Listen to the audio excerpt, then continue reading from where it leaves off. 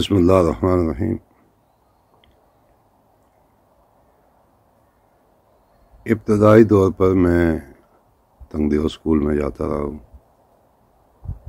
मुझे अच्छी तरह याद है कि हमारे घर में एक कमरा गिर गया था जो पत्थरों का बना हुआ था। वहाँ एक बुज़ुर्ग थे, मिस्त्री, बाबा कुल्ली। तो वो भी साहब को कहते थे कि इस बच्चे को कोई मजदूरा कर दें चूँकि पस्ता घसीट घसीट कर जाता है, उठा नहीं सकता। स्कूल में उस वक्त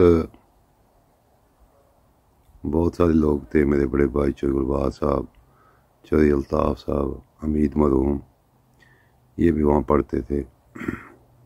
मास्टर मुख्तार साहब डमाल वाले पढ़ाते थे। काफ़ी सख्त आदमी थे। गर्मी में वहाँ ये प्रॉब्लम होता था कि पानी नहीं मिलता था।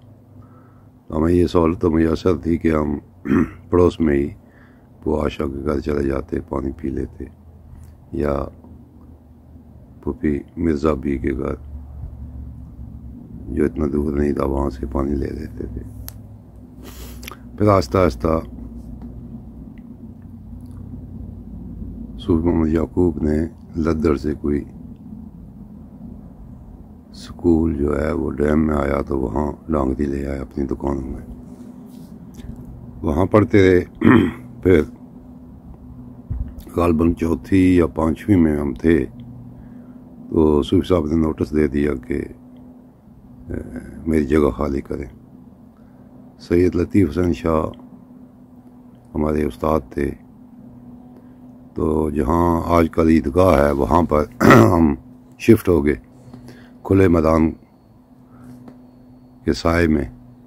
तो वहाँ पत्थरों पर बैठ कर जो है ना, हम कुछ छः माह पढ़ते रहे। फिर सैलती हुसैन शाह साहब ने। तो गोदो की इलाके के मजीन को जमा किया और एक कमेटी बनी, तालीमी कमेटी, जो राजा मुजफ़र ख़ान नंबरदार की सदारत में कायम हुई, जिसमें सूफ़ी अब्दुल खालक साहब, सूफ़ी नज़ीर साहब, सूफ़ी रशीद अहमद साहब बाकी काबरीन भी उसमें शामिल थे। तो फिर एक कताए ज़मीन, आजी मोहम्मद ज़मान और आजी, उनके बेटे आजी अब्दुल रशीद मरहूम ने स्कूल के लिए दिया, जिसमें तीन कमरे बनाए गए और उसके बाद कुछ और ज़मीन उनसे ख़रीदी गई। जो तीन कमरे बने थे, उसमें हम रात को ट्यूशन भी पढ़ते रहे कुछ अर्सा उसके बाद तीन और कमरे जो ज़मीन खरीदी गई थी, वो बनाए गए थे। मुझे अच्छी तरह याद है कि उन कमरों के लिए फंडिंग जो थी, वो बरतानिया से थी। यहाँ से लोग पैसे बेचते थे और सूफी अब्दुल खालक साहब के पास वो सारा हिसाब किताब था। और जो नए तीन कमरे बने, उनकी दरवाज़ों और बारियों का मामला था लकड़ का। तो मीटिंग हुई तो मेरे बुज़ुर्ग आजी मोहम्मद सादक साहब भी वहाँ मौजूद थे। तो वालदा बशीर साहब आजी फजल अहमद के बड़े भाई थे, दुकानदारी करते थे डांगरी में। उनकी बुज़ुर्गों के साथ अच्छे तल्लक थे। उन्होंने कहा कि आज चौधरी सादक साहब, आप ऐलान करें कि ये लकड़ का काम जो है, ये मजदूरी समेत आप अदा करें। तो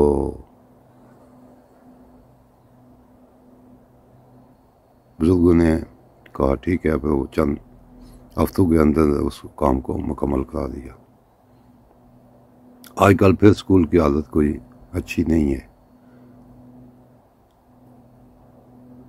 स्कूल को मिडल बनवाने में सैयद लतीफ़ हुसैन शाह साहब की बड़ी काविशें थी। तालीमी कमेटी तो साथ थी। मुझे याद है कि उस वक्त मुस्लिम हंस की हुकूमत थी और कैप्टन साहब के वाल साहब कई बार इजलास में आए, उन्होंने सदारत भी की। और कैप्टन मोहम्मद सरफाज की वसात से ही सरदार मोहम्मद यूसुफ आए और इसको मिडल स्कूल का दर्जा दिया। उसके बाद प्राइवेट क्लासें चलती रहीं, जिसमें बहुत सारे दोस्त थे हाजिर अहमद साहब थे, उल्फत साहब थे, अशरफ साहब थे खलीक जमान थे, मेहरबान, मोहम्मद मेहरबान थे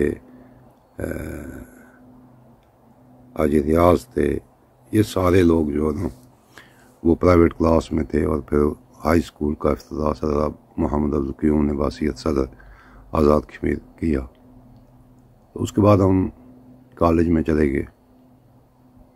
कॉलेज में हम मैट्रिक के इम्तहान के लिए गए तो रिहाश का मामला था। मोहम्मद यासिन आसी साहब, जिनका तल्लक बुआ कलां से था, और उनके वालद माला लाल साहब मुलाजमत करते थे शहर में, वो शहर में रहते थे, इकबाल हॉस्टल के नज़दीक। यासिन साहब ने कोई कमरों का इंतज़ाम किया तो मालदार साहब शाम को आए तो उन्होंने हमें चारपाइयाँ वगैरह दी और पूछा कोई प्रॉब्लम तो नहीं है। हमारे बुज़ुर्गों का उनके साथ बड़ा तलक था दरीन तलक था। अजय मालदार लाल साहब बहुत ही शफकत वाली शख्सियत थे। फिर हमारा यासिन आसी साहब के साथ तल्लक था। इस वजह से भी वो आ, हमारी बहुत ज़्यादा लुक आफ्टर करते थे। मेट्रिक का इम्तहान पास करने के बाद हम कॉलेज के। और कॉलेज में मामला ये आया कि एडमिशन होगी तो हॉस्टल में दाखिले के लिए इकबाल हॉस्टल में ठेकेदार चौधरी औरंगज़ेब साहब, हाजी रहमत अली साहब के रिश्तेदार थे, वो रहते थे।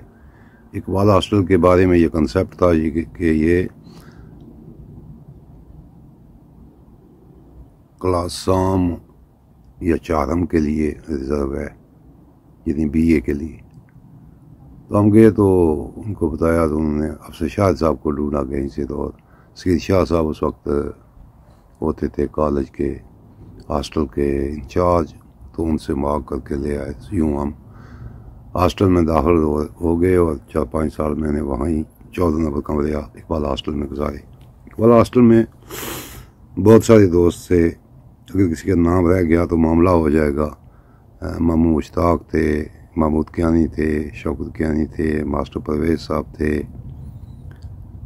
एक सरफाज साहब थे, बड़ा ज़माना हुआ, पता नहीं चला वो किधर गए हैं पनियाम का। पनियाम से तल्लक था उनका, अब्दुल शकूर थे मसैर इकबाल थे, मरहूम जो बाद में तहसीलदार हुए और फौत हो गए। चड़ोई के साथ उनका तल्लक था और चोई फरीद के फूफीजाद भाई थे। अब्दुल अब्दुल कादर वो थे। ख्वाजा आरफ थे, राजा अशरफ थे, अब्दुलसलाम थे।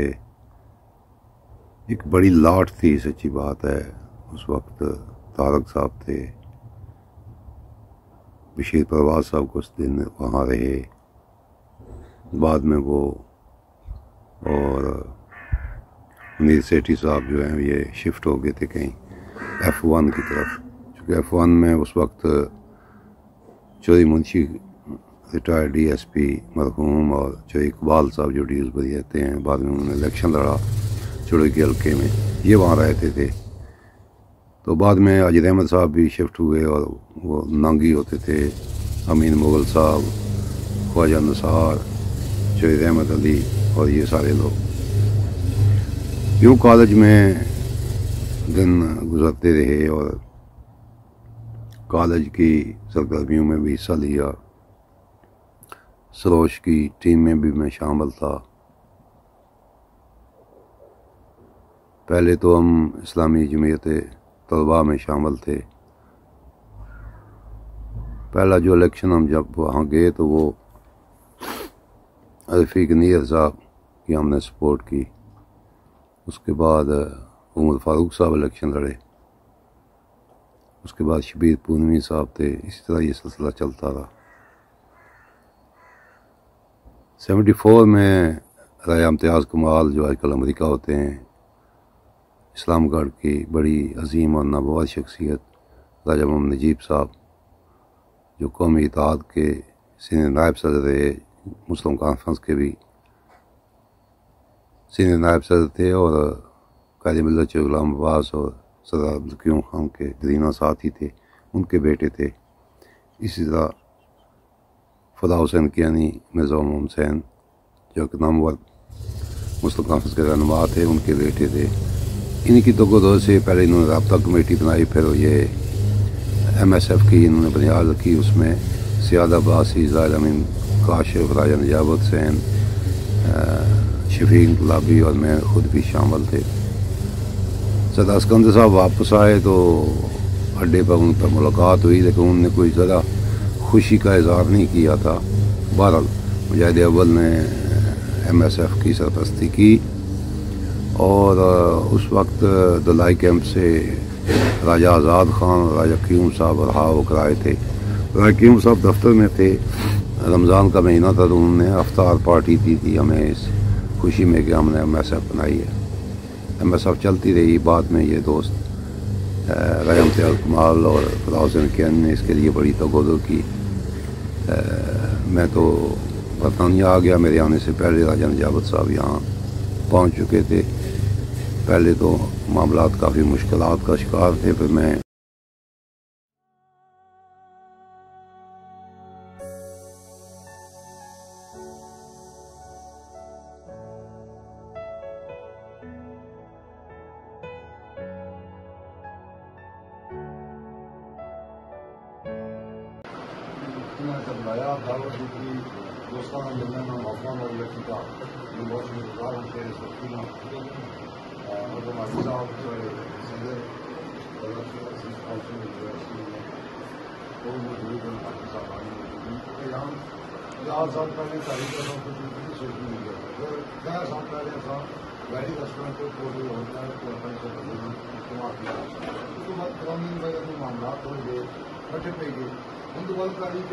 शामिल बाकी गायक भी शामिल बाकी मामला शामिल उसमें पसंद शामिल और सारे हो रही है जितना कोई आम रही जगह देखी जाए ताकि लोग स्वागत मिला तो सारे दोस्तों की जो है कि फ़िल्म की कर रहा है, उस मज़बूत साथ जो रियाज साहब ने बड़ा शुक्रिया मैं ऐसे भी मैं पत्नी अच्छी जान रहा हूँ, लेकिन है कि उन्होंने काफ़ी साथी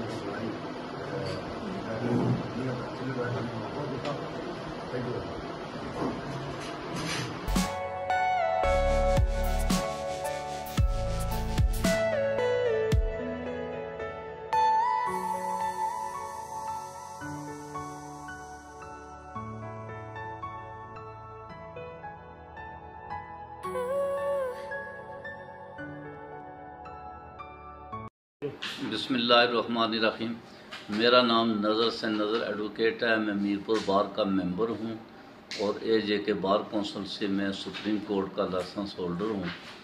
मीरपुर बार में ही मैं वकालत करता हूँ। मैं और चौधरी असलम आज़ाद साहब दोनों का साथ जो है वो 1970 से लेके काल कायम है। असलम आज़ाद साहब और मैं बचपन से ही डिबेट्स और तकरीरों के शौकीन थे। हमारे उस्ताद मरूम मफरूफ सैद लतीफ़ सैन शाह साहब ने हमारी इस सिलसिले में बड़ी तरबियत की। जूँ ही हमारा शोर ग्रोन अप हुआ तो उस वक़्त बांग्लादेश, यानी मशरक़ी पाकिस्तान टूट जाने का हादसा हुआ। यकीन इस हादसे ने हमारे जहन को बड़ा महमीज़ किया और हमारी सोचों के दृश्य खुलते चले गए। मैं तालीम में मशहूर रहा और असल मजाद साहब ने तर्क वतन की और बरतानिया चले गए। मैं वकालत में आ गया। बरतानिया जाकर असल मजाद की जो अपनी खूबियाँ थी, वो इंतई तौर पर बुलंदी को छूने लगी। उन्होंने एक अमदर्द इंसान की तरह वेलफेयर कामों में अपनी शनाख्त बनाई, सियासत में अपनी शनाख्त बनाई। सियासत में वो हमेशा दाए बाजू के रहे, मुजाहिद अव्वल से उनका इंतई मुजाहिद अव्वल सरदार अब्दुलकयूम खान से उनका इंतई गहरा कलबी लगाव था। उनके फर्जंद अजमत के साथ उनकी मोहब्बत और दोस्ती कायम थी। और उसके बाद मुस्लिम लीग नून बनी तो वो मुस्लिम लीग नून के साथी बन गए और राजा फारूक हैदर खान के दस्त रास कहलाने लगे। असल मजाद साहब की इन सियासी खूबियों से बाला बालातर होकर उनकी जो है वो वेलफेयर की शौरी क्वेश्चन तयब अरफा हैं। तो उन्होंने Azad Kashmir overseas council international के नाम से एक तंजीम कायम की, जिसमें मुझे भी एक अहदेदार बनाया। उनकी हमेशा मिसाल की निशानदेही अच्छी रही है। अब जो उन्होंने आर्याम ब्रिज मुकम्मल करो, तारीख का नारा लगाया इंतई काबिल पजीराई है आवाम में इसकी मकबूलियत है और वक्त की ये सोच है। आज असल में मजाद साहब बुढ़ापे की तरफ़ जा रहे हैं। उनके सर के, उनके दाढ़ी के बाल सफ़ेद हो चुके हैं। मसाइल का एक पहाड़ उनके सामने खड़ा है। सफ़ेद बालों की जंग जारी है। कौन जीता है तिरजुर्फ के सर होने तक? खुदा हाफिज़।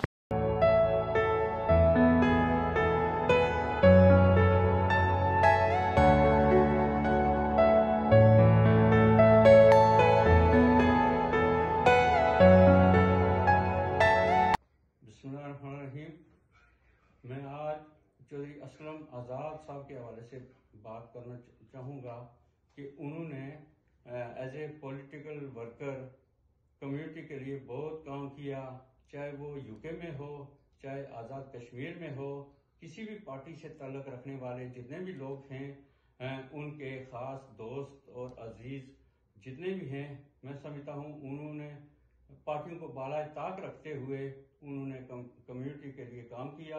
आज़ाद कश्मीर में अरियाम पुल का मसला हो या कोई और इशू हो, कश्मीर के हवाला से कोई इशू हो तो उस पर उसमें उन्होंने बढ़ चढ़ कर हिस्सा लिया। मैं उन्हें मुबारकबाद पेश करता हूँ और इसी तरह वो अपनी ज़िंदगी का सफ़र जारी रखेंगे। हमारी दुआएँ उनके साथ हैं। अल्लाह ताला उन्हें हिम्मत और तोफ़ी अता फरमाए कि इसी तरह अपनी कम्यूनिटी के काम करते रहें। बमा अलैना बलागुलमबीन वसलाम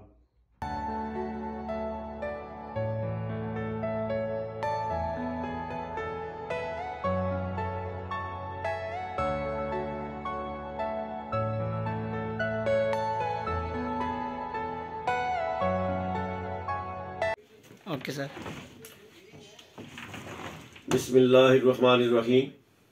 चौधरी मोहम्मद असलम आज़ाद साहब, जो अरसा दराज तक प्रिंट मीडिया में बड़ी अच्छी शहरत रखते थे, वो अब कुछ अर्सा से इलेक्ट्रॉनिक मीडिया में भी अपना मुकाम रखते हैं।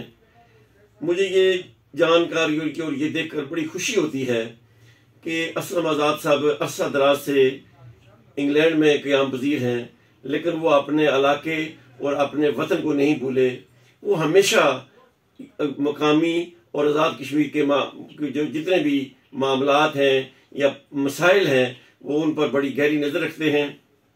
ख़ास कर मैं उनका इसलिए भी ममनून हूँ कि वो रठुआ हरियाम पुल का मामला जो है, जो अरसा दराज से हमारे लोगों के साथ बड़ी ज्यादती है कि 20 साल गुजरने को है वो वो एक पुल नहीं बन सका। इसके लिए उनकी जो काविश है काविश है, वो उसको सराहा जाना चाहिए। मैं उनका बेहद दिली तौर पर ममनून हूँ कि मैं भी उस रठवा हरियाणा पुल की तकमीली कमेटी जो है उसका रुकन हूँ। उस हैसीत से भी हम सब उनके ममनून हैं कि वो उसके लिए यहाँ आज़ाद कश्मीर आए, पाकिस्तान आए तो यहाँ भी वो गाँव गाँव करिया करिया शहर शहर गए और उन्होंने उसका लिए आवाज़ बुलंद की और इंग्लैंड में बैठकर भी वो हमेशा इसके लिए कोशिश करते हैं अल्लाह ताला उनको सेहत अता फरमाए लंबी ज़िंदगी अता फरमाए ईमान अता फरमाए वमा अलैना इल्लल बलाग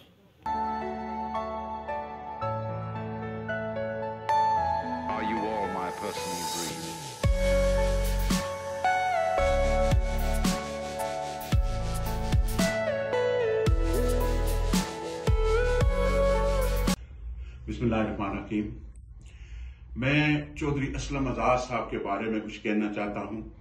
चौधरी असलम आज़ाद साहब एक इंतहाई शरीफ और बहुत ही एक्टिव पॉलिटिशियन है। जब से वो बरतानिया में तशरीफ़ लाए, तब से उन्होंने एक अपना सियासी इमत जो है उसको बरकरार रखा और उनकी जो पोलिटिकल काविशें हैं, मैं समझता हूँ, वो किसी से जो है ना भूली हुई नहीं। और मैं उनको खराज तहसीन पेश करता हूँ। चौधरी असलम आज़ाद साहब को मैं सेंस 1980 जानता हूँ, जब वो बरतानिया तशरीफ़ लाए। तो उस वक्त से लेकर आज तक वो एक मतलब पोलिटिकल वर्कर की हैसियत से काम कर रहे हैं। और स्पेशली उनका जो कंट्रीब्यूशन मसला कश्मीर के लिए है, तारीख आज़ादी कश्मीर के लिए है, वो उस पर भी मैं उनको खराज तहसीन पेश करता हूँ। और मुस्लिम कॉन्फ्रेंस के वो मैं समझता हूँ कि उन मेंबरों में हैं जो कि मतलब है फाउंडेशन मेंबर्स होते हैं। मजाहिद अव्वल सतार अब्दुल क्यूम खान के साथ मिलकर उन्होंने काम किया। अपनी स्टूडेंट लाइफ मीरपुर में उन्होंने काम किया। और यहाँ बरतानिया में, हर शहर में उन्होंने मुस्लिम कॉन्फ्रेंस की ब्रांचेस बनाई। और इसके अलावा मैं समझता हूँ कि जो उनकी खिदमात हैं, अलका जो मीरपुर के पर्टिकुलरली मीरपुर की आवाम के लिए, आज़ाद कश्मीर की आवाम के लिए और पर्टिकुलरली बरतानिया में लोगों के साथ उनने जो मिलजुल कर काम किया है, कश्मीर, तारीख आज़ादी कश्मीर पे, वो भी मैं समझता हूँ कि वो मुबारकबाद के मुस्तक है और मैं उनको मुबारकबाद पेश करता हूँ और मैं उनको खराज तहसीन पेश करता हूँ। और मेरे बहुत अच्छे अच्छे दोस्त हैं और मैं हमेशा उनको विश करता हूँ कि have a good luck in the life and continue the hard working Chaudhry Aslam Azad Sahab you are doing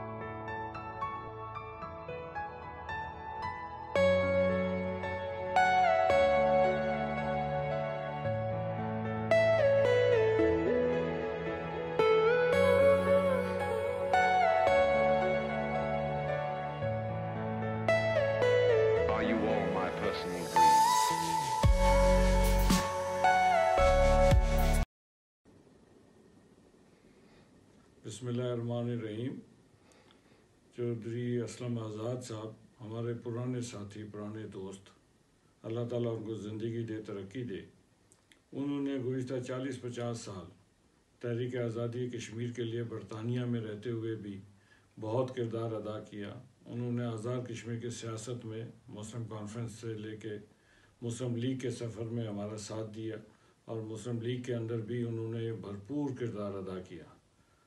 Chaudhary Aslam Azad साहब ने जिस तरह आज़ाद कश्मीर की तमीर व तरक्की और खसूस रठुआ राम ब्रिज के हवाले से जो किरदार अदा किया उसको बनाने के लिए, उसको तकमील के लिए, वो उसके लिए भी वो खराज तहसीन के मुस्तक हैं। अल्लाह ताला उनको सेहत दे, ज़िंदगी दे। वो हमारी पार्टी के लिए, हमारे दोस्तों के लिए एक असासा हैं। और मैं चाहता हूँ कि वो अपना ये किरदार जो है, भरपूर अंदाज में जारी और सारी रखें। बहुत बहुत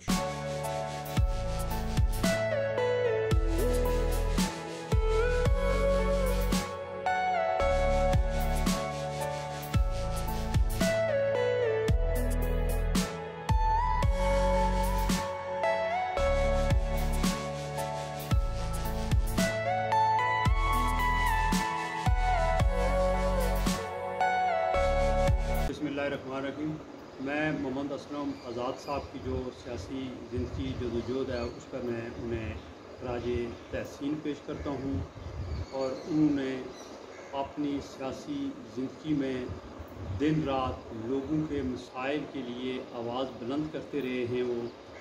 और इसके अलावा वो जो अपनी हुकूमत, जो मुस्लिम लीग नून की थी, उसकी पॉलिसियों के भी खिलाफ, जब भी उन्हें खिलाफ हुआ, उन्होंने खुलकर बयान किया और अपनी क्यादत को भी ये बावर कराया है।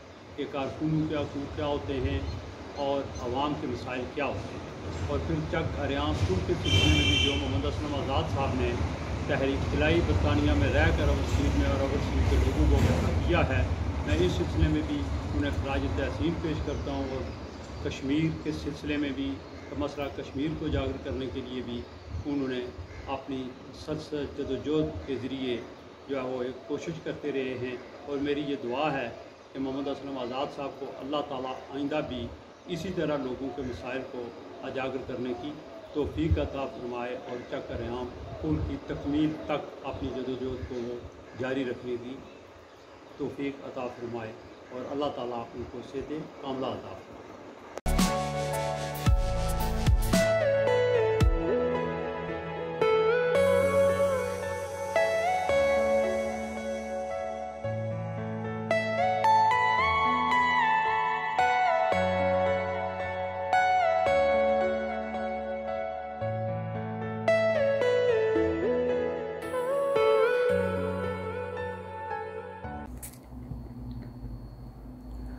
स्टॉकटन से फिर मैं मिर्जबो शिफ्ट हो गया उन्हीं दिनों में सदर अब्दुल्क्यूम साहब उनके बेटे सदर खलीक बीमार थे लंदन में वो बरतानिया आए तो हमारे स्टॉकटन के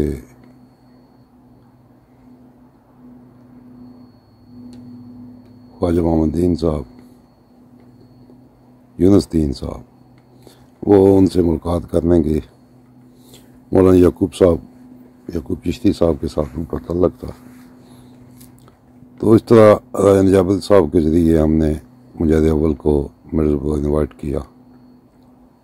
राज जऊल साहब उस वक्त सदर थे। नहीं, सदर नहीं थे। वो चीफ ऑर्गेनाइजर थे। मैं बेकरी में काम कर रहा था तो राज असकर ने बताया कि राय खालिद साहब आपसे मिलने बाहर कंटीन में आए। तो मैं गया तो उन्होंने बताया कि वो जऊल साहब के कज़न है। जऊल साहब ने बताया कि कोई जलसा हो रहा है तो हमारा मुकम्मल तावन आपके साथ है। उसके बाद जितना अरसा में मिर्ज़बरो आ रहा है खालिद साहब, उनके खाना राय आसफ साहब राय अदरीस साहब, इन सब दोस्तों के साथ बड़ा गहरा तल्लक रहा। बस जलसे को ऑर्गेनाइज किया, मैं वहाँ अकेला था। हमारे चौधरी रशीद साहब, वो अपटाले वाले हमारे बुज़ुर्ग थे चौधरी हुसैन के बड़े दस्तराज थे। मैंने उनसे गुजारिश की, चूँकि उनकी फैमिली के, बरदरी के लोग बहुत ज़्यादा थे वहाँ। तो उन्होंने कहा, क्यों नहीं? वो सदर रियासत हैं, हम सब की इज़्ज़त है। उन्होंने तावन किया, इस तरह हमने वारन स्ट्रीट के साथ मुल्क का एक हाल था, वहाँ पर जलसा किया। अवल पहले आए, छोटा सा मेरा मकान था वहाँ। वहाँ बी बी सी को उन्होंने इंटरव्यू दिया, काफ़ी देर रहे, नमाज़ पढ़ी। फिर हम जलसे में गए। जलसे में राय मुंशी खान, मौलाना यकूब चश्ती सभी लोग ये शामिल थे और जलसे को ख्वाजा यूनुसद्दीन और अब्दुल हमीद क्रैशी और रियाज हसन और बाकी मोहम्मद अदरीस, मोहम्मद मेहरबान, मोहम्मद बशीर, इन सब दोस्तों का उसमें तावन शामिल था चौधरी अब्दुल रशीद साहब का तो यकीन तावन था उसके बाद ये तारफ़ हुआ तो फिर मजर साहब और मालिक साहब एक दिन मेरे पास आए और गपशप की वो क्रिकेट के शौकीन ने मजर साहब आज कल इधर आकलम की तरफ़ लंथ हो लंथ में मेरे ख्याल एक टेक वे चलाते हैं मालिक साहब भी क्रिकेट के शुदाई थे बुला गाला से उनका तल्लक था, वफात पा गए। फिर हमने वहाँ पाकिस्तान वेलफेयर एसोसिएशन बनाई। साबर चौधरी उसके मरहूम, उसके चेयरमैन थे, मैं सेक्रेटरी था। काफ़ी अर्सा ये सिलसिला चलता रहा। वक्त खाने के लोग हम वहाँ लेके वीज़े वीज़े वीज़े का नया नया सिलसिला पाकिस्तान के लिए शुरू हुआ था तो लोगों की सहूलत के लिए हमने कई सर्जरी वहाँ मनक़द की। मस्जिद के मामला में भी हम कुछ इन्वॉल्व हुए। एक बार कोई झगड़ा हो गया तो मिर्जो गज़ट में मेरी तस्वीर छपी जहाँ हमें काम डाउन कर रहा था लोगों को। एक लंबी कहानी थी ये। राय खाल साहब और इनके साथी भी हमारी मदद के लिए आए थे। यूसुफ मेहंदी साहब इख्तलाफ में थे और बाकी मामला भी हुए। मिर्जबो में फिर मेहदी हुसैनी साहब के साथ, बाजी सफ़िया के साथ एक तलक हुआ। तो हमने लॉ सेंटर में अपने लोगों को इलेक्शन लड़ाया। सन मैरी लॉ सेंटर में हम इलेक्शन जीत के, पुलिस लिज़म पैनल में हम जीत के। मेहदी हुसैनी की बड़ी खदमात हैं उस इलाके के लिए। जितने भी नस्ली मुनाफत के मामला थे, उन पर वो बड़ा खुलकर बोलते थे। अल्लाह ताला उनको गरी करामत करे। वो भी फौत हो गए, उनकी अलिया जो कॉलेज में पढ़ाती थी बाजी सफ़िया लाहौर से उनका तलक था। वो भी इस दुनिया से चली गई। और बहुत सारे दोस्त, हाफिज असलम साहब, ख्वाजा यूनुसद्दीन चौधरी अली शान, हाजी बरकत अली, ख्वाजा यूनुसद्दीन चौधरी अब्दुलरशीद साहब। ये सारे लोग जो थे ये इस दुनिया से चले गए, अल्लाह ताला उनकी मफर फरमाए। मार सलमान साहब थे जो अशरफ साहब के साथ एक बार मुलाकात हुई थी। और कल वो व्हील चेयर पर हैं बेबर से उनका ताल्लक है। जो इकबाल साहब, वो फौत हो गए। बहुत सारे लोग इस दुनिया से चले गए। मैं मिर्जपुर में जब कभी जाता हूँ कि मदद साहब के साथ और चिकरवान साहब के साथ दुआसलाम होती रहती है तो पता चलता रहता है। रियाज हसन का तल्लक पनियाम से गुजशत कुछ माह पहले उन्होंने मुझे फ़ोन किया और मैंने कई बार उनको ढूंढा, लेकिन उनसे मुलाकात ना हो सकी। इसी तरह जायद सागर थे काजी साहब थे, बहुत सारे दोस्त थे। अल्लाह ताला सबको खुश रखे। मर्तबा में मैं बारह साल रहा। राय जावत साहब, अकरम मुगल साहब मरहूम और कई और साथी वहाँ मुलाकात के लिए जाते रहे। अजमत खान के साथ जो डिविशन फ्रंट के रहनुमा हैं, आजकल पढ़ाते हैं, शायद मैनचेस्टर में। उनके साथ तल्लक मिर्जबर्ग में हुआ था, वो पढ़ते थे पॉलिटेक्निक कॉलेज में। वो सबक मशीर आए, शौकत गजनफर और सबक लॉर्ड में ब्रेडफोर्ड गजनफर खाल के चचाजाद भाई भी हैं। यू बाद में मुस्लिम कॉन्फ्रेंस एटी थ्री में सदा सिकंदर साहब आए तो बनी तो उसमें भी मुझे अहदेदार बनाया गया था इंजाब साहब को बनाया गया हमने वहाँ से मुस्लिम कॉन्फ्रेंस का सफ़र शुरू किया मुस्लिम कॉन्फ्रेंस में ये बड़ा मामला था कि जो बड़े थे वो नहीं चाहते थे कि नौजवान आगे हैं लेकिन हमने बड़ी स्ट्रगल की बड़ी तगोदो की और अपना जमात के अंदर मकाम बनाया इस पर इन बाद में गुफ्तु होगी और फिर मैं गालबन नाइन्टी वन में बर्मिंगम वापस आ गया बर्मिंगम से मैं गया था। तो यहाँ चूँकि, बहुत ज़्यादा अपॉर्चुनिटी थी, बहुत सारे लोग थे राइसकिन ताज साहब थे, राजा आरफ साहब थे, हाजी अकबर साहब थे चाहे मोहम्मद फाजल साहब थे चाहे अजीम साहब मरहूम थे। इन सब साथियों के साथ फिर जो है, ये तल्लक रहा अब्दुल खालक गाजी साहब वालसद वाले तो फिर मुस्लिम कॉन्फ्रेंस की सियासत में हमने बड़ा ज़ोरदार किरदार जो अदा अदा किया और उसमें राजा अब्दुल खालक काकड़े वाले डरबी होते थे हाजी बशीर साहब डरबी वाले। और भी बहुत सारे दोस्त हैं, हमारे बुज़ुर्ग गुलाम रसूल साहब थे। इन लोगों ने बड़ी शफकत की हमारे साथ सुपरवेज ठालवी साहब थे। बाद में अशरफ काजी साहब भी हमारे काफिले में शामिल हुए। जयसलम बडालवी साहब नैलसन से उनका बड़ा कंट्रीब्यूशन रहा है। चाहे ताफ पोटी चाहे मुश्ताक पोटी चाहे मारूफ पोटी। ये दोस्त भी उस वक्त मुस्लिम काफस में थे चुके। चाहे आज़म पोटी साहब मुस्लिम काफस में थे। तो एक बड़ा नेटवर्क था और हम नौजवानों की एक बड़ी खेप थी जिसने मुस्लिम काफस के अंदर काम किया। आ, उसके पहले सदर राजा अब्दुलरहमान साहब ब्रैडफोर्ड वाले थे और सेक्रेटरी जनरल बरतानिया के राय मुंशी खान थे। बाद में राजा मुंशी खान को सदर बनाया गया और मास्टर सलमान साहब गार्डन सेक्रेटरी जनरल थे और मुझे डिप्टी सेक्रेटरी जनरल बनाया गया। बाद में राजा साहब नौ साल सदर रहे और जय मकसूद साहब सेक्रेटरी जनरल थे नाटिगम वाले। अल्लाह ताला उनको गरी करामत करे। तो मैं फिर उनके साथ डिप्टी सेक्रेटरी जनरल था। लेकिन ये अजीब इतफाक़ है कि ज़्यादातर सेक्रेटरी जनरल के काम काम सेक्रेटरी जनरल के जो फ़राइज़ हैं, वो मुझे इस अंजाम देने पड़े और इस तरह हमने अपनी एक जगह बनाई और नौजवानों को आगे लाया। आज़ाद कश्मीर में अवल सीट की जो सीट है, उसका मुतालबा भी मैंने ब्रैडफोर्ड एक जलसे में किया था, रानी जावेद साहब के जलसे में।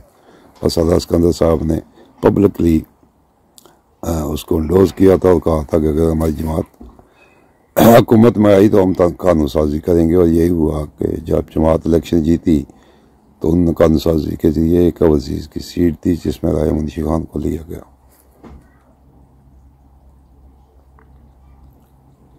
मुस्लिम कॉन्फ्रेंस में हमारा ज़्यादा रुझान सदारती कैमन खान के साथ अमजद उल के साथ था और ये मामला चलते रहे। इस पर मैं बाज़ जो कंट्रोवर्शियल जो चीज़ें हुई हैं, जमात के अंदर उस पर तफसील से इन दूसरी वीडियो में गुफ्तु करूँगा। फ़ीमान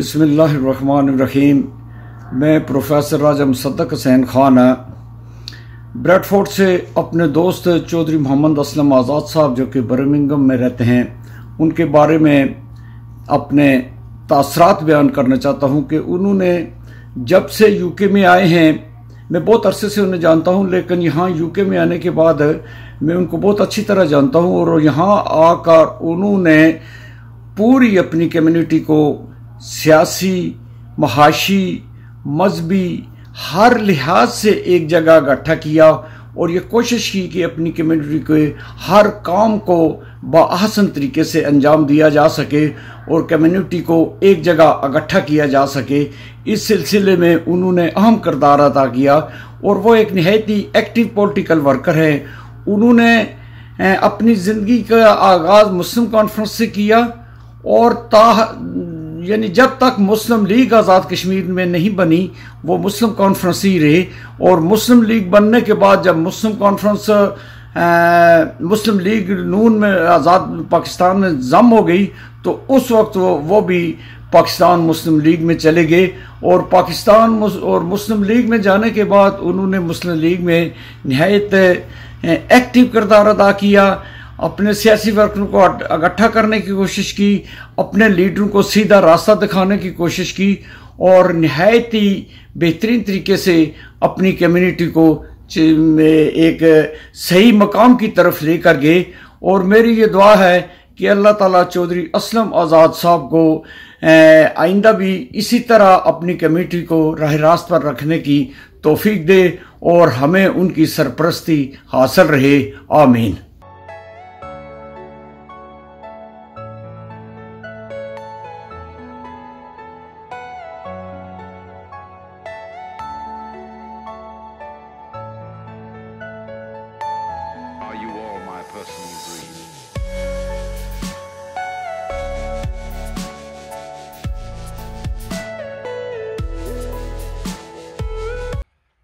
चौधरी असलम आज़ाद साहब एक खूबसूरत और दबंग शख्सियत के मालिक हैं। वो बरतानिया की सियासत में नहायती बासूल बाकरदार और हक बात कहने वाले सियासतदान के तौर पर पहचाने जाते हैं। उनकी सियासी वाबस्तगी मजाहिद अवल सरदार क्यूम मारूम और कैप्टन मोहम्मद सरफराज खान मारूम जैसे बुलंद पाया और बाकरदार सियासतदानों के साथ रही।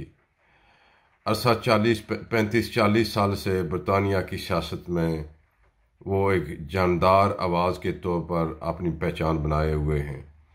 बरतानिया की सियासत हो या आज़ाद कश्मीर हो, पाकिस्तान की सियासत हो या कोई भी समाजी काम हो, इसमें आपने हमेशा बढ़ चढ़ कर हिस्सा लिया।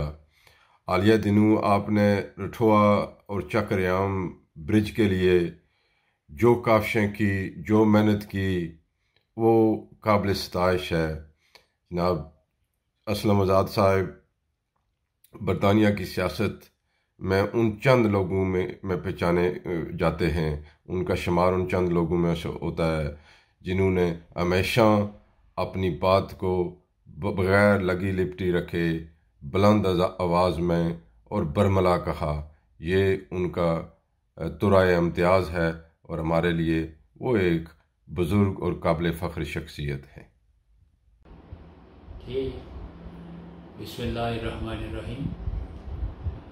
चौधरी असलम आज़ाद साहब को मैं तकरीबन एक दहाई से भी ज़्यादा मेरी साथ शनासाई है। इंतहाई जेंटलमैन और करैक्टर वाले आदमी हैं। उनकी जो है पॉलिटिकल जो मेरी साथ शनासाई है ज़्यादा तो सियासत के नुकता नज़र से रही है। तो मैंने देखा है कि वो बड़ी वीन वाले और ब्राड जैन वसी कलब वसी जैन और वसी नज़र हैं। और, वो हमेशा पब्लिक वेलफेयर इलाके की वेलफेयर और फिर अपनी जमात के जो कारकुनान हैं, उनके बारे में बड़ा दर्द रखते हैं।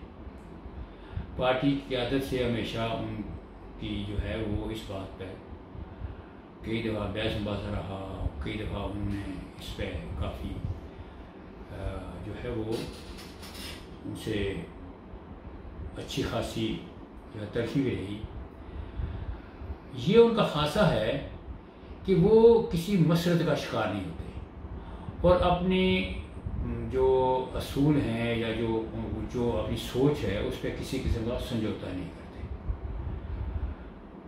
यकीनी तौर पर जब आप सियासत में होते हैं तो आपको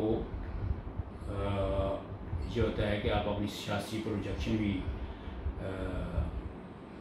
आपकी सोच होती है कि आपको सियासी प्रोजेक्शन मिले और लोग उस, उसकी इज़्ज़त करें। लेकिन उसके साथ साथ वो पब्लिक वेलफेयर इलाकाई वेलफेयर और कारकुनान की जो वेलफेयर है उस पर कोई समझौता नहीं करते। और मैंने जब भी उनसे मेरी मुलाकात हुई मैंने उनकी जो है कंपनी जो उसको इंजॉय किया। और फिर मैंने ये देखा कि वो इलाका की वेलफेयर या इस तरह के मामला में बरदरीज़म को भी किसी सूरत में भी बरदरीज़म नहीं करते और खुले दिल से बात करते हैं। मेरी उनके साथ, हालाँकि हमारी बरदरी की लिहाज से हम दोनों मुख्तलिफ़ बरदरी से लेकिन मैंने हमेशा उनको बड़े भाई की तरह पाया, शफीक पाया और उन्होंने हमें अच्छा हमेशा रहनमाई भी की और अच्छी बातें बताई। अल्लाह ताला उनको इस जो है उनकी जो विजन है उनकी जो सोच है उसमें उनको इस्तकामत दे। तो वो हमारी पार्टी का एक बड़ा असासा हैं इलाके के लिए बड़ा असासा है। तो मैं समझता हूँ कि उनकी शख्सियत की शक्ल में कारकुनान के लिए और लोग इलाके की मफाद में एक बहुत बड़ा जो है वो आ,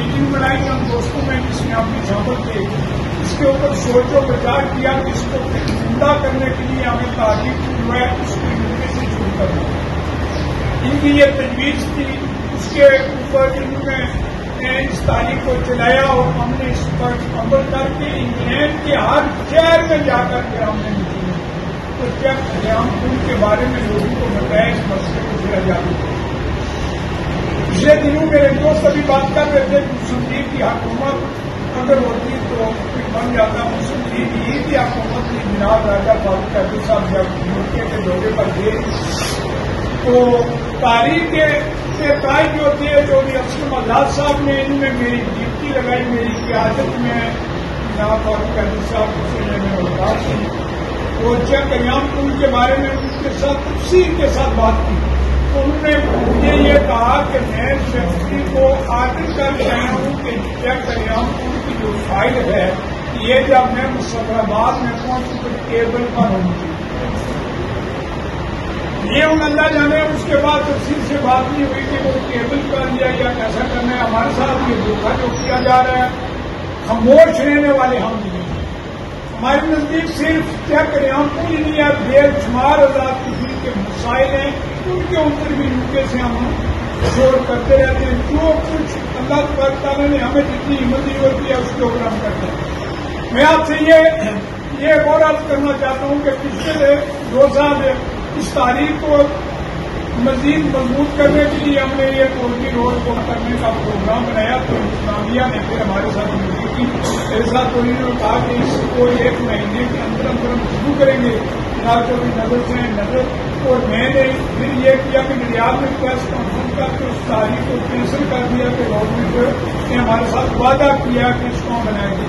असल बात यह है कि हम इस नतीजे पर पहुँचे कि ये सिर्फ़ वादे करते हैं, काम नहीं कर रहे हालाँकि हमें यह कहा जाता है कि बजट मौजूद है, इसका ये आज शुरू करेंगे, कल करेंगे, आज करेंगे, कल करेंगे। अभी खुशी की बात यह है कि बिल्कुल बाहर ही नहीं, बल्कि कोर्टी और से निर्यात और ये फिंगर के ये सारे दोस्त जो हैं वो भी इस तारीख में शामिल हैं और उन्होंने भी हमारे वादा किया इस तारीख को बयान तरीका बताएँगे मुझे उम्मीद है कि जो भी आज़ाद साहब की मौजूदगी ही में कुछ डेट हमें मिलेगी, क्योंकि इनके बाद हम सीरिया वाला को भी ग्राउंड पर भी मिलना चाहते हैं। कि इसके बारे में आपने क्या कर रहे हैं? मगर अकेले हम कुछ नहीं कर सकते मैं आपको साफ़ बात बता दूँ। आप लोगों का तामन हमारे साथ न हो।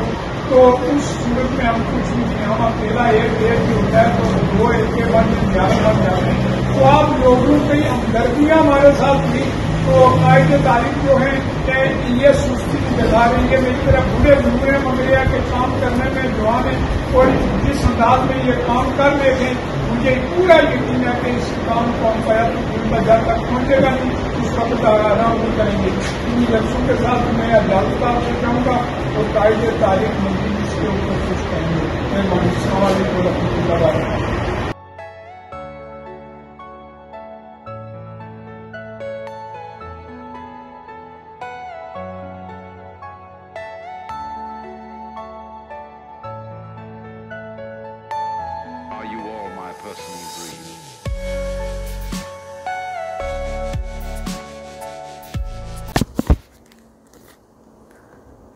बसमीम यहाँ बरतानिया में एक स्कोप ऑर्गेनाइजेशन होती थी। उसका मामला कुछ सर्द पड़ गया तो कौंसला ब्रिटिश पाकिस्तानी ब्रस्ट अब्दुल चौधरी ने बनाई। उसके सिलसिले में उन्होंने बरतानिया भर में इजलास किया। हमने भी मिर्जब्रो में एक इजलास उसको किया था। काफ़ी अर्सा में उसमें सरगर्म रहा। उसके बाद यहाँ मैं बर्मिंगम 91 में आया तो लोकल इलेक्शन भी कंटेस्ट किए और यहाँ पर पाकिस्तान फोरम बना था। उसके पहले चेयरमैन ब्रस्ट अब्दुल क्यूम से, उसके बाद ख्वाजा मोहम्मद शफीक जो है, उसके चेयरमैन बने, राइस कंताज साहब थे जावेद खालिद सवर ये सारे लोग। उसमें मैं एग्जेक्टिव में शामिल था। तो एक वालक शाह यूनिवर्सिटी के प्रोफेसर थे, उन्होंने एक किताब भी, किताबचा भी लिखा था। यहाँ के जो मसाइल हैं उस पर। ख्वाजा मोहम्मद शफीक ने भी अपने दौर में पासीत चेयरमैन बहुत अच्छी कारकर्दगी की। वो चूँकि बिज़नेस के साथ ही मुंसलिक थे। ज़्यादा ज़ियाल कुरान मस्जिद आलमराग के भी चेयरमैन थे। बर्मिंगम में ख्वाजा मोहम्मद शफी की बड़ी खदमात हैं और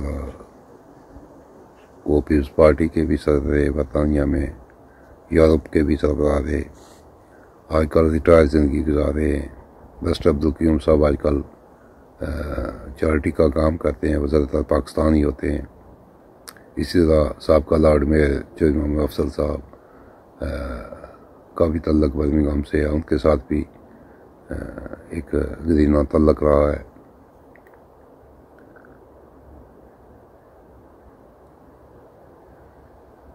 बर्मिंगम में बहुत सारे साथी ऐसे हैं जिनके साथ बहुत अच्छा वक्त गुजरा है। उनमें राजा स्किनताज मरहूम थे। राजा आरफ साहब आजकल पाकिस्तान गए हुए राजा याज एडवोकेट मास्टर परवेज साहब, चौधरी परवेज साहब हाजी अमीन साहब यूनुस गुजर साहब ये सारे दोस्त हैं और उसके साथ आ, मेरे मोहतरम मुकरम दोस्त रायत जमल नवाबी साहब सबक सदर मुस्लिम लीग बर्मिंगम ब्रांच उनके साथ एक दरीना तल्लक है और सियासी मामला पर उनसे गुफ्तु भी होती रहती है। अब तक रहमान राई साहब हैं। आजकल वो मियाँ साहब के बड़े करीब हैं, जो जहांगीर साहब हैं, अब्दुल खालिक कादरी साहब हैं फ़राम तबसम हैं। ये सारे दोस्त जो हैं, इनके साथ जमात के अलावा भी तल्लक है, जो बशीर अटवी साहब हैं, रियाज भट्ट साहब हैं, नाइम चौधरी हैं, फ्रांस वाले उन्होंने हालिया दौरा में दावत भी की थी।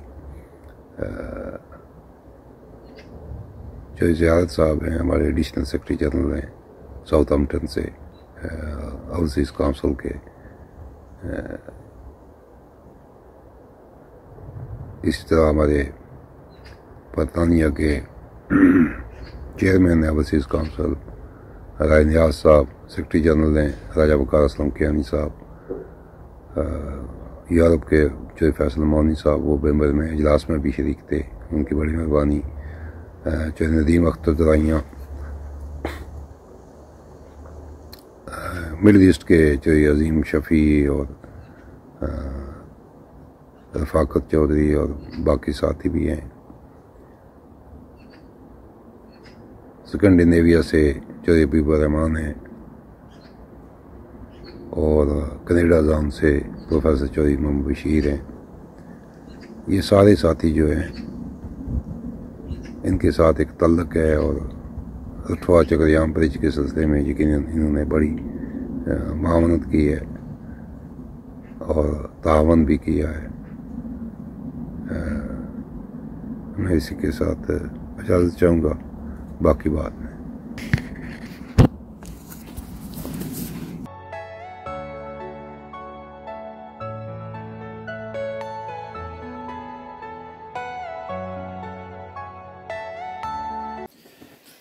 बिसमीम जनाब मैं कुछ गुजारिश करना चाहना सा रियामपुल हवाले न जनाब असलम आज़ाद साहब ना जिस कदर किरदार है इसलिए कोई शक नहीं कि वो किसी तारफ मुताज नहीं है। सारे लोग तुसा बाखूबी वाकुफ हो और जानते हो।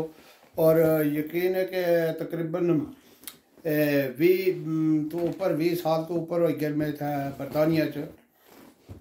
तो पहले अस, माशाल्लाह एक जमात ही रहा मेरी ना, उस सिलसिले भी बड़ी रहनमाई की है इंतहाई सीनियर जनाब, सियासी वाले नाल भी समाजी वाले नाल भी इन्होंने नीयत पर भी कोई शक, शुबे नहीं गुंजाइश कोई इस लिहाज नाल इन्हें की मैं अखराज तहसीन पेश करना।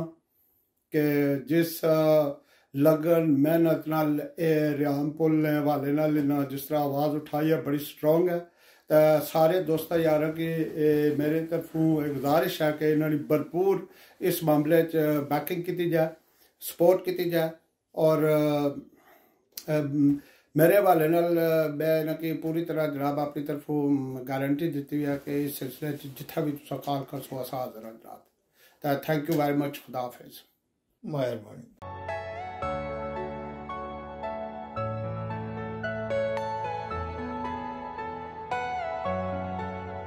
あ、すごい。めちゃめちゃ重い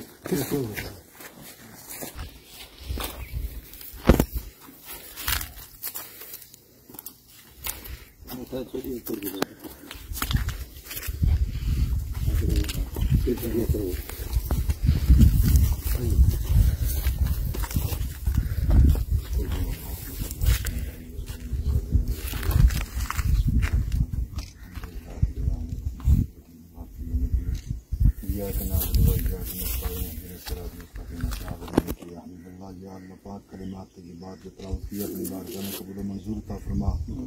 बिलखसूस या अल्लाह पाक पीर मोहम्मद लतीफ़ शाह साहब रो इनकी जो जिसको पेश करते हैं कबूल मंजूर ता फरमा।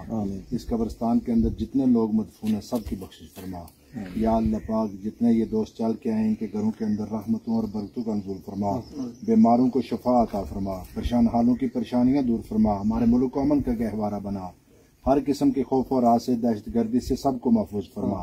सल्लल्लाहु ताला अला रसूल हर हल्के ही मोहम्मद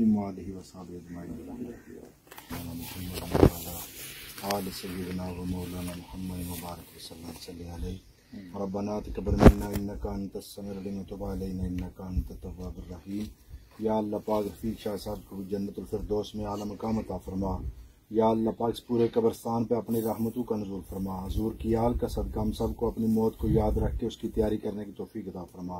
हसनैन करीमैन के वसीला से शहदाय करबला का सदका हम सब के हाल पे रहम फरमा। सल्लल्लाहु ताला अला रसूल हर खल्क ही मोहम्मद बसमीम मैं आज अपने उस्ताद मोहतरम सैयद लतीफ़ हुसैन शाह साहब मरहूम रहमतुल्लाह के कब्र पर हाजिर हुआ हूँ। उनके ख़ानदान के लोग, उनके बेटे सैद शाह साहब भी यहाँ मौजूद हैं। शाह साहब की हमारे इलाके के लिए बड़ी खदमात हैं। हमारा मिडिल स्कूल जो बना, वो शाह साहब की काफशू से बना। फिर उसको हाई का दर्जा दिलवाने में भी सारा जो काम था, वो शाह साहब ने किया। और हमारी जो हमारे हम जो उनके तालब इलम थे, हमारी तरबियत की और हमें बोलना सिखाया डिबेट सिखाई आज हम जो कुछ हैं, वो किबला शाह साहब मरहूम की वजह से हैं। अल्लाह ताला उनके दर्जात बुलंद करे। आमीन।